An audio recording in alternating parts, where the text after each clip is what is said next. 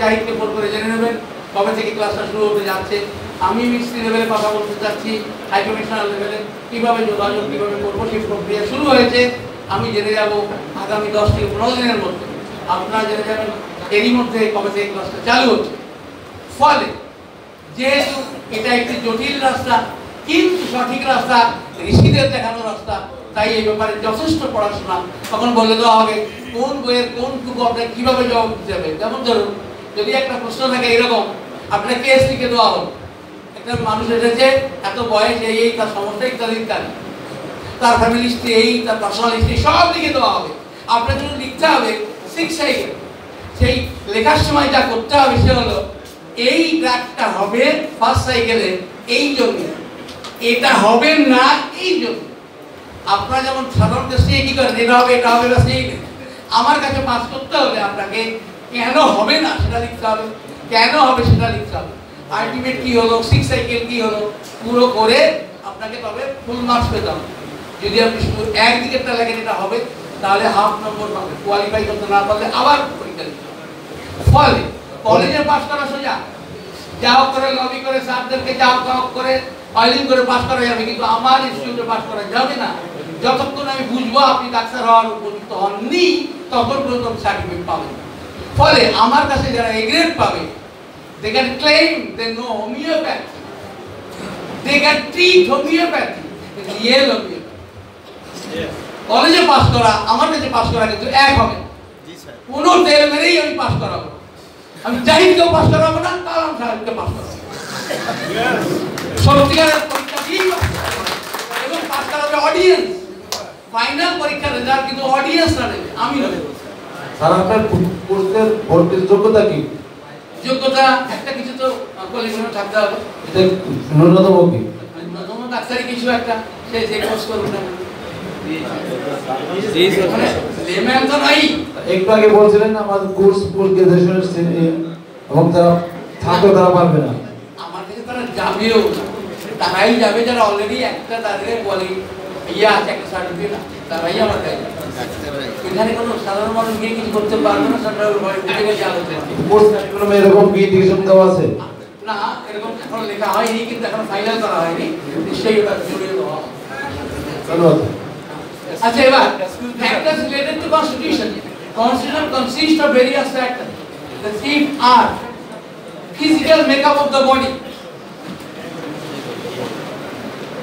এবার দেখা হবে কি দেখা হবে? দেখা হবে এই মানুষটি ভীষণ মোটা, ফ্লাবি শরীর থলথলে মানুষ নড়তে চড়তে পারে এটা নিশ্চয়ই আমাকে নিতে হবে, অথবা লিন থিন মনে হচ্ছে ঝড়ের আগে উড়ে যাবে। অথবা রোবাস কনস্টিটিউশন দারুণ দেখতে। যেমন দেখতে তেমন তার শারীরিক গঠন টেম্পারামেন্ট কত সহজে রেগে যাচ্ছে, আদৌ রাখছে কিনা বিরল চুপ থেকে হাসছে কিনা না, ভালো কথা বললেও রেগে যাচ্ছে কিনা হিট রিলেশন যদিও এটা আমার পথের সঙ্গে মেলে না হিট রিলেশন ঠান্ডা গরম কি ভালোবাসে, যে যারা বাসে সেটাও মেলে না। যাই ওটা আমি উত্তর দিচ্ছি না, কিন্তু যেহেতু ঋষিদের লেখা না আমি লিখেছি এরপর হবে মায়াজম। তাহলে মায়াজম হলো কনস্টিটিউশনের একটা অংশ মাত্র। ডায়াসিস হলো কনস্টিটিউশনের একটা অংশ মাত্র। ফলে আমরা মায়োমেটিক ডায়াগনোসিস করে কিন্তু খুব বড় কাজ করলাম না।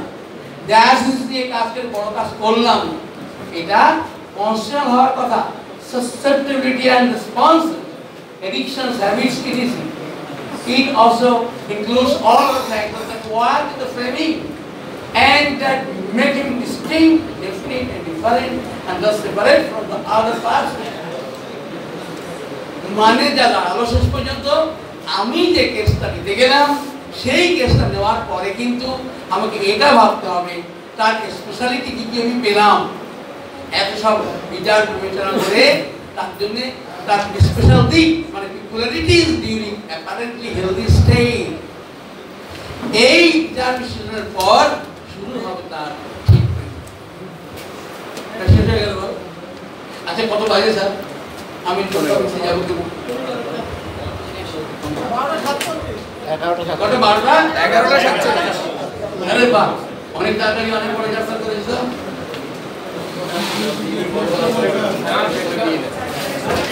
আর বাচ্চারা সাবরেক দেন স্যার একটা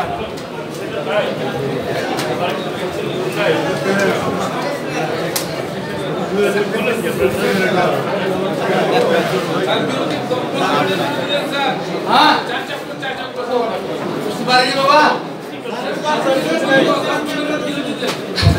ও হ্যাঁ একটা কেস স্যার, আপনি বলেছিলেন তাই ছেলে এসছে। একটা দারুণ দাড়ি কাটছো মেয়েটা। এই ওনার ক্ষেত্রে কথা বলবি হয়তো দাড়ি কাটছো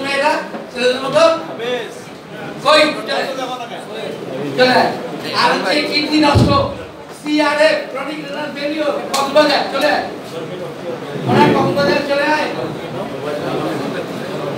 কামাল ভাই কামাল ভাই। রে মাহি বলে। হ্যাঁ? এই ছেলেটা-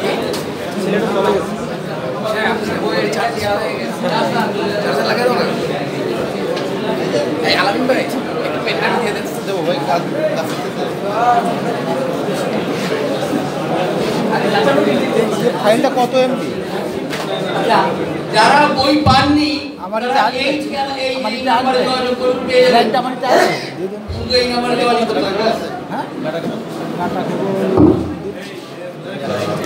সাথে আমরা দীর্ঘদিন ধরে আছি যারা।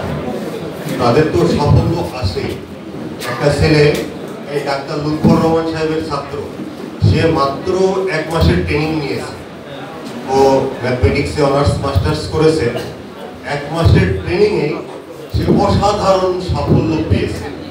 তো একটা টেকিং বল পেয়েছে এক মিনিটে শেষ করে দিবে নাম রংপুর থেকে আসছে হাফিজুর রহমান, ডাক্তার হাফিজুর রহমান। আসসালামু আলাইকুম রহমতুল্লাহ। আমি খুবই দুঃখিত যে যে রোগী খুলনা থেকে অনেক কষ্ট করে আমাকে দেখতে শুধু এসেছে। সে এখন ইনশাআল্লাহ আলহামদুলিল্লাহ অনেক ভালো অনেক সুস্থ আছে। এবং তিনি ইন্ডিয়াতে চিকিৎসা নিয়েছে তিনি দেশে বিভিন্ন দেশে চিকিৎসা নিয়েছে। তিনি কোনো সাফল্য না পেয়ে শেষ পর্যন্ত আহ, যেগুলোভাবে আমার নাম্বারটা কালেক্ট করে আমার কাছে চিকিৎসা নিয়েছেন মাত্র দুই মাসের মধ্যেই এতটা যে সাফল্য আমি পেয়েছি আমি তাকে খুব ধন্যবাদ জানাই। জানাই যে আমি এই জিনিসটা কি যেন একটা সোনার হরিণ আমি পেয়েছি। আমি যার তুলনা কোনো চিকিৎসার সাথে তুলনা করতে পারব না। তার রোগটা হলো সেক্সুয়াল উইকনেস। শুধু তাই নয়, তিনি অনেক দিন থেকে কাশ এবং অ্যাসমাতে ভুগতেছিলেন। এবং তার আরও একটি সমস্যা ছিল, তার সারা শরীর ময়লায় ভরে যেত। এই কেসটা আমরা জানি যে সিফিলিস রোগীর শরীরে হয়তো ময়লা থাকে, হাত ভয়, এগুলো আমরা সবসময় জানি। যদিও সে সিফিলিটিক রোগী আমরা আমি এর তার কেস টিকিং করে করার সময় দেখেছি, তার কোনো বন্ধুত্ব টিকে না। বন্ধুত্ব টিকে না এই কারণেই যে সে শুধু নিজের স্বার্থের জন্য বন্ধুত্ব করে। আর এর জন্যই আমি প্রথম যে মেডিসিনটা দিয়েছি সেটা হচ্ছে সিভিলিনাম। এটা দেওয়াতে এমন পরিবর্তন আসা শুরু করল, তার পুরনো একটা দাঁতে একদম কালো হয়ে গেছিল। সেই দাঁতটা একদম কালো অবস্থা থাকা থেকে সিভিলিনাম দেওয়াতে ব্যথা শুরু হয়েছে। আমি ব্যথা সারাতে পারিনি। সাথে সাথে এলোপ্যাথিক মেডিসিনের সাহায্য নিতে হয়েছে ব্যথা সারানোর জন্য। তারপরে যেটা যেটা ঘটলো, আমি আমি কেসটিংটা পুরোটাই বলতে চাচ্ছি। সেটা হচ্ছে যে, তার একটি দাঁত সম্পূর্ণ কাল- ছিল, সারা শরীর ময়লা, এবং তার কেসটিংটা আমি যেভাবে করেছি, দুই হাজার চোদ্দ সাল থেকে এই সমস্যা তার দেখা দিয়েছে, এবং তার যে চারিত্রিক বৈশিষ্ট্য আমি পেয়েছি, সে হচ্ছে কসমোপলিটন সারা বিশ্বে সে ঘুরে বেড়াবে। এটা ছিল তার প্রথম একটা বৈশিষ্ট্য। সে সারা বিশ্ব ঘুরে বেড়াতে চায় এবং এই পঁয়ত্রিশ বছর বয়সে সে সতেরোটা বিশ্ব, সতেরো, সতেরোটা দেশে সে ঘুরতে ঘুরে আসছিল। এটা একটা, আর তার পায়খানা যখন তিনি সুস্থ ছিলেন একদিন পর পর হয়েছে। যদিও আমরা জানি এটা টিউবারকুলার মায়োজমের একটা রোগী, কিন্তু এই টিউবারকুলার মায়াজমের রোগীটাকে সম্পূর্ণ সুস্থ করার জন্য শেষ পর্যন্ত শেষ পর্যন্ত আমি টিউবারকুল নিলাম তারপরে রোসরা যে ইনশাল্লাহ সুস্থ করতে পেরেছি। এবং তিনি আমাদের মাঝেও এসেছেন। কোনো একটা কারণে সে কিছুক্ষণ আগে চলে গেল। কিছুক্ষণ আগে চলে গেছেন। আমি এজন্য আন্তরিকভাবে দুঃখিত। জি? টু হান্ড্রেড দিয়েছিলাম আমি। এটা শুধু তার স্বার্থপরতার জন্য, নিজের স্বার্থের জন্য। আমি স্যারের বইয়ে পড়েছিলাম যে শুধু স্বার্থপর হবে। তার সেই স্বার্থপর স্বার্থপরতা প্রকট অবস্থায় দেখে আমি তাকে সিভিল নাম দিয়েছিলাম। আমি কথা আমি বলে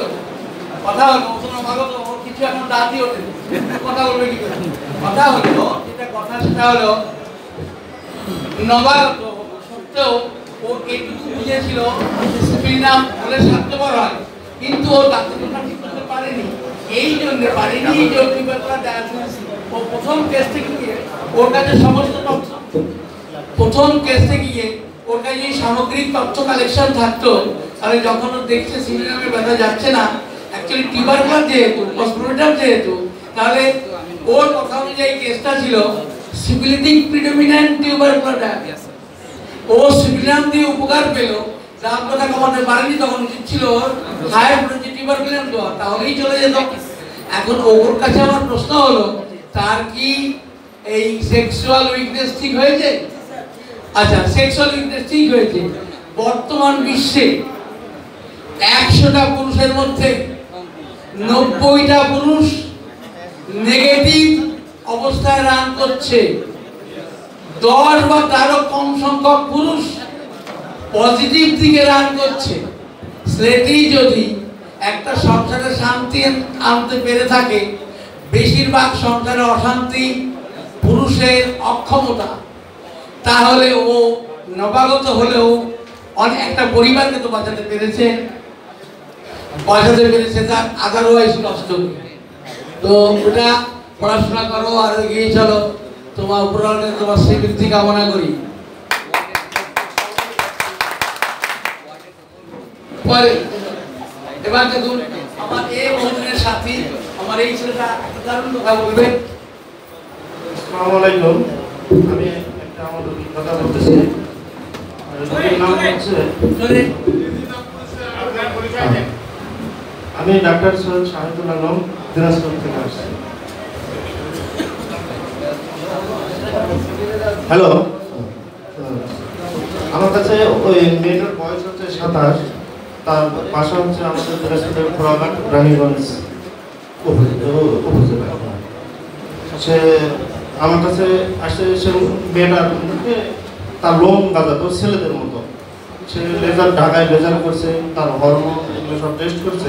তার প্রোডাক্টিনটা একটু বেশি ছিল, প্রায় আটচল্লিশ ছিল। সে নর্মাল রেঞ্জ হচ্ছে আঠাশ।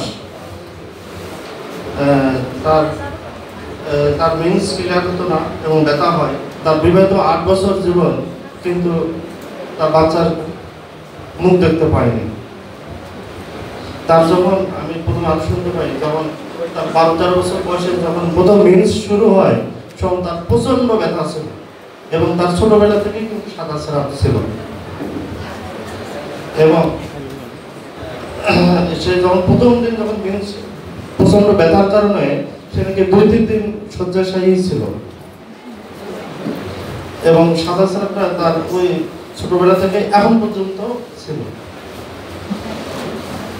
তার বাবা হচ্ছে ডায়াবেটিস বাত ব্যথা, রোগী। মা হচ্ছে ডায়াবেটিস, ব্যথা, সাদা স্রাব কুকুর কামড়ানো, ছোটবেলায় নাকি কুকুর কামড়িয়েছিল এবং এই বাচ্চাটা যখন তার মায়ের, এই রোগীটা যখন তার মায়ের পেটে ছিল সেই সময় কিন্তু তার শাশুড়ির দ্বারা বিভিন্নভাবে মানে তাকে নির্যাতন করেছিল। তারপরে তার দাদা গলস্টোন ছিল ওখানে তার ক্যান্সার ধরা পড়ছিল। ওই ক্যান্সারেই তার দাদা মারা গেছে। তার দাদি বাদ ব্যথায় ভুগতেছে, মাঝে মাঝে শ্বাসকষ্ট হয়। তার নানা স্ট্রোকে মারা গেছে। এবং নানি ডায়াবেটিস রিউমেটিক আর্থাইটিসে ভুগতেছে। এবং তার এই সার্বিক দিক থেকে আমি যেহেতু পিআরএস প্রকট, আমি তাকে হাইড্রোকোভিনাম দুইশো দেয় দুইশো দেওয়ার পরে প্রায় সে আমার কাছে এক দেড় মাস আসেনি। এবং সেই একবারে ওষুধ দিয়েছিল তারপর আমি ক্লাসে দিয়েছিলাম সে চলে গেছে। প্রায় তিন মাস পর আসে, বলতেছে তার লোম অর্ধেক কমে গেছে। এবং সে আমাকে বলতেছে, আমি এখন প্রেগনেন্সি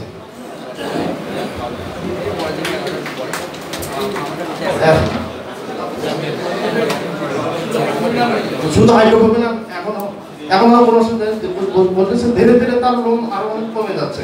এই জন্য আমি কোনো মেডিসিন দেয়নি হাইড্রোফোবিন আমি নেক্সট টাইম আসলে যদি রেজাল্ট না পাই, পাঁচশো দেবো। হ্যালো দাঁড়াও শোনো কথা হলো কেসটা ও দিয়ে যে ভালো হয়ে গেছে, এভাবে শেখা যাবে। কথা হলো, কেন এমন হলো? মেয়েটা দাঁড়িয়ে ওঠে প্রতিদিন তার শেভ করতে হয় ছেলেদের মতো নাহলে সমাজে সে বের হতে পারে না। এইটা কিন্তু মেয়েদের একটা খুব বড় সমস্যা। লজ্জা অ্যাজ ওয়েল প্রবলেম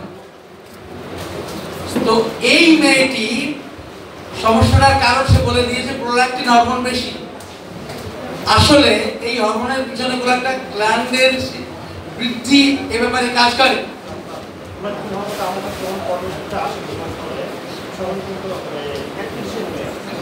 ঠিক আছে, আমি এটা বলছি। তাহলে প্রোল্যাক্টিন হরমোন তার বেড়েছে, যার ফল দাঁড়িয়েছে, তার প্রেগন্যান্সি আসছে না। তাহলে পুরুষালী হরমোনের প্রাধান্য। পরবর্তীকালে তার পরীক্ষায় দেখা যায়, ওষুধের দেওয়ার পরে প্রোল্যাক্টিন হরমোন কমেছে গাড়ির পরিমাণ মানে সেভ করাও কমেছে। আর কি হয়েছে সব থেকে বড় কথা, আট বছর বিবাহিত জীবনের পরে তার এই ওষুধের পরে তার প্রথম প্রেগন্যান্সি এলো। মজাটা এখানে শুরু হলো, শেষ হলো না। তখন কীভাবে এলো? আমাকে একটা ছেলে সকালেই বলেছিল, স্যার, এরা আপনারা কি উর্দু ভাষায় কথা বলছেন? পিআরএস পিটিএস খায় না মাথায় দেয়? আমার তখন টার্গেট ছিল যে যদি কোনো কেস আসে, তখন এই ব্যাপারটা বলব। পিআরএস হলো পোস্ট অফিস সিন্ড্রোম এর জন্য কে দায়ী? দায়ী হলো রেবিস ভাইরাসের জেনেটিক ম্যাটেরিয়াল।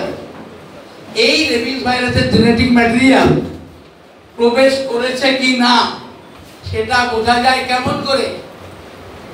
সেটা সব থেকে মজার কথা এইটি। আজ আপনার কাছে একটি মেয়ে এলো, তার বয়স মাত্র তিন মাস। কিন্তু মা বলছে, ডাক্তারবাবু, কেন ওর সমস্যা হচ্ছে? ও তো এইটুকু বাচ্চা। এর আর একটা মানে হলো, ও যখন পরিণত বয়সে পৌঁছাবে, ও সার্ভাইকাল কার্সিনোমাতেই মারা যাবে।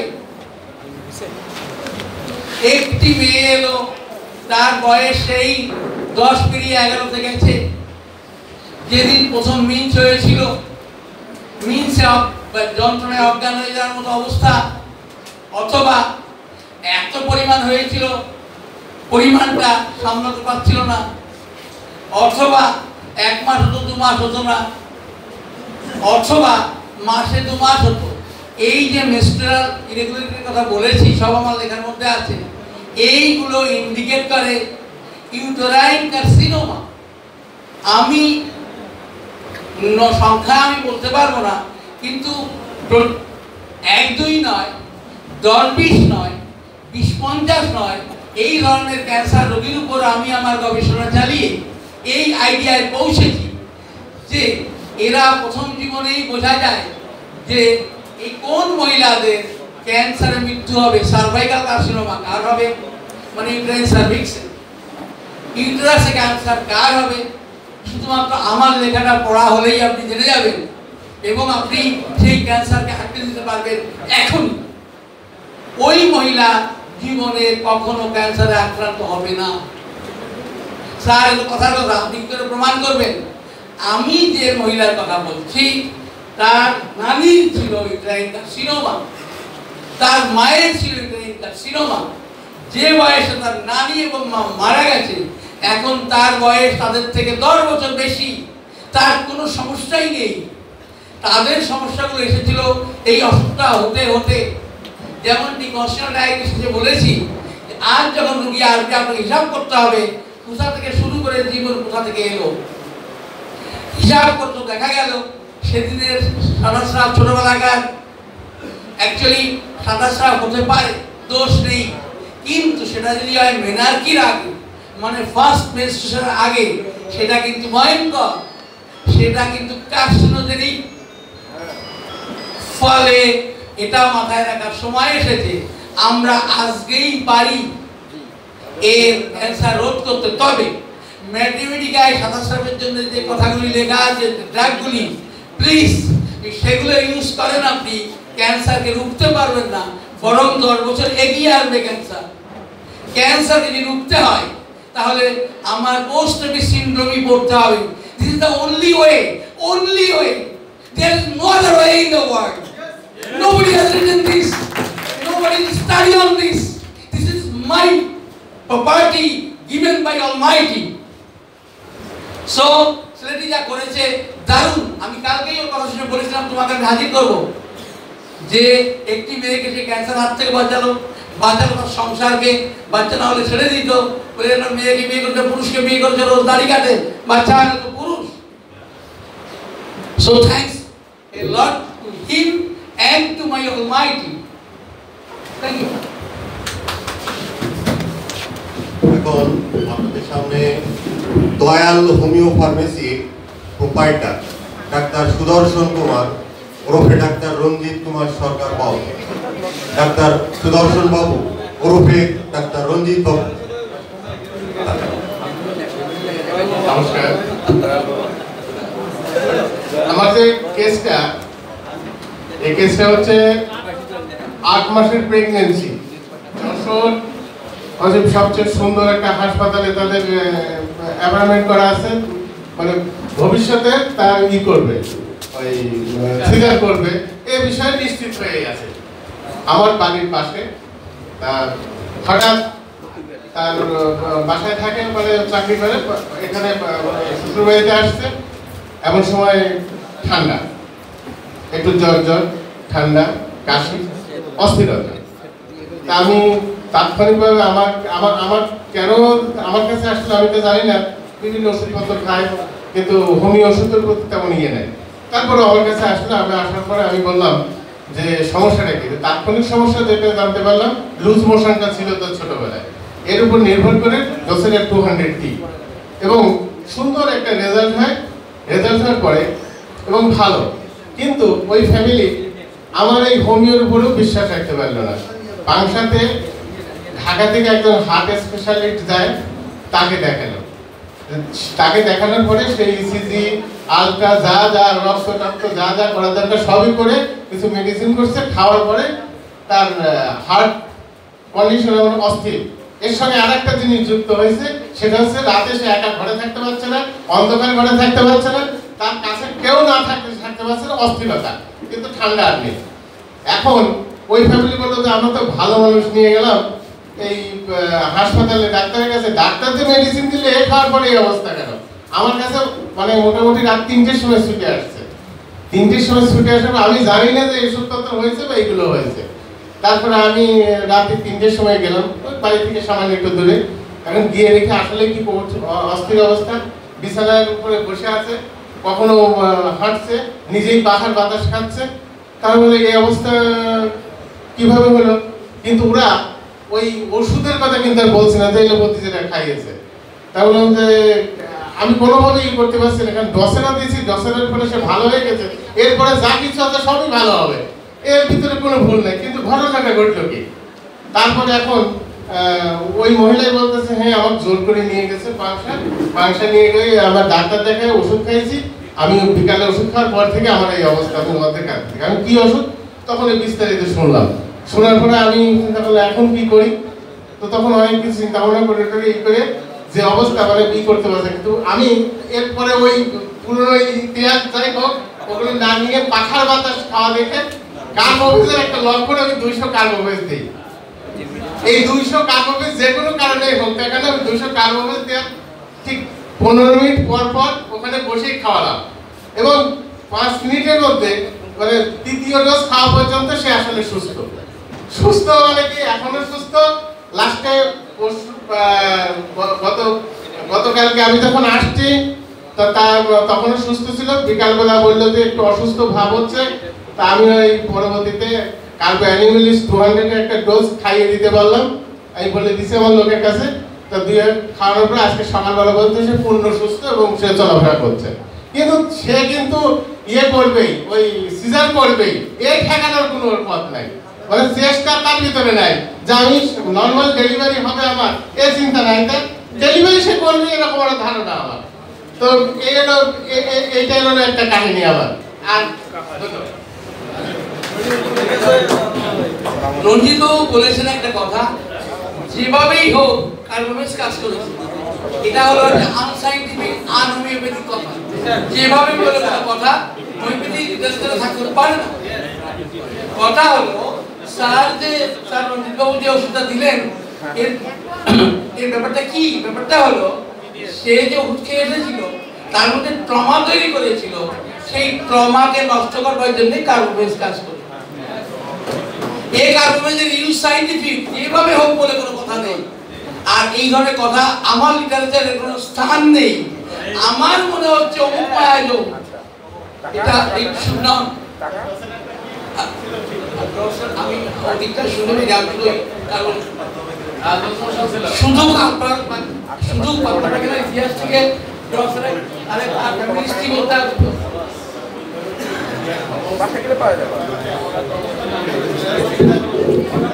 না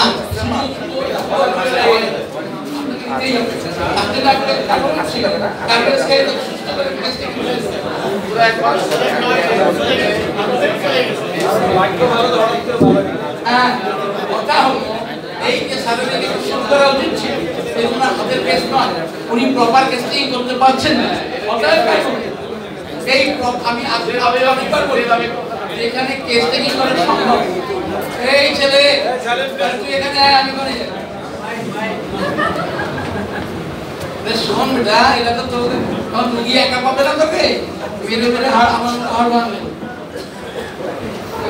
তাহলে, যখন আমরা কেস টেকিং করবার মতো অবকাশ নেই, রুগীকে জিজ্ঞাসা করা যাচ্ছে না।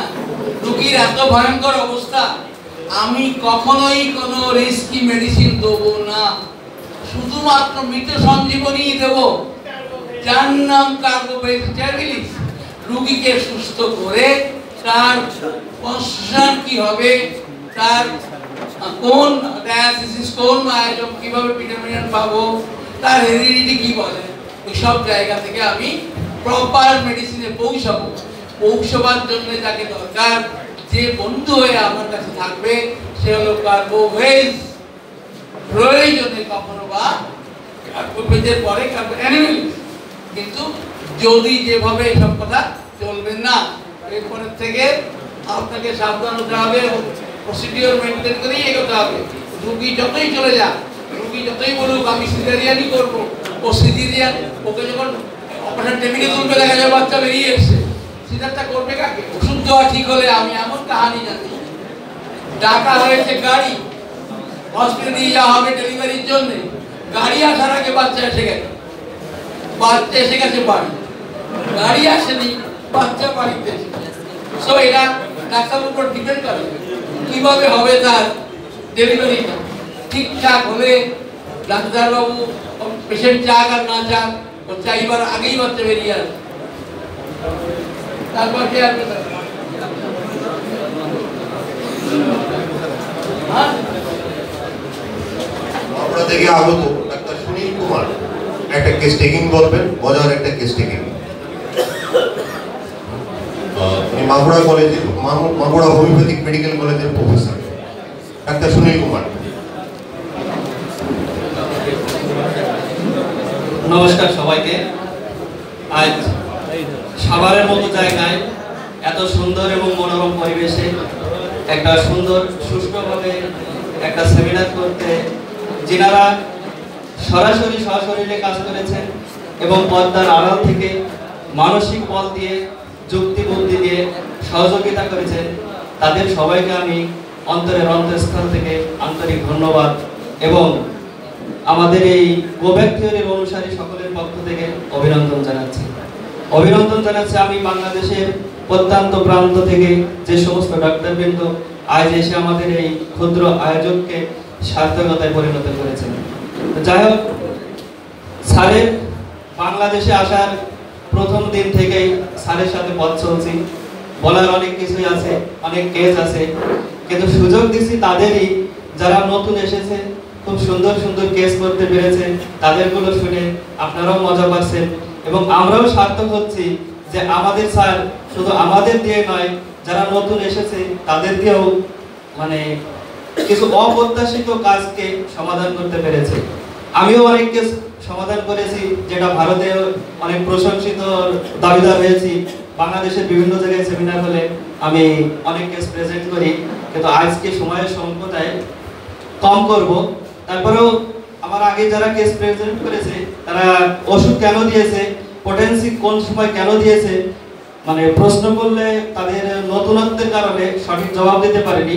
আমি যে কেস আমাদের বলছি, যদি আপনার প্রয়োজন হয় কোন ওষুধটা কেন দিলাম, কোন পোটেন্সি দিলাম, আপনারা উঠে দাঁড়ালে আমি মনে বলতে পারব, আর না পারলে স্যারের সহযোগিতা নেব।